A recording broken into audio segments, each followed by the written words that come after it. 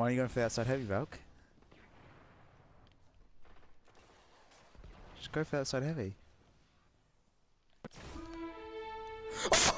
Quick scoped!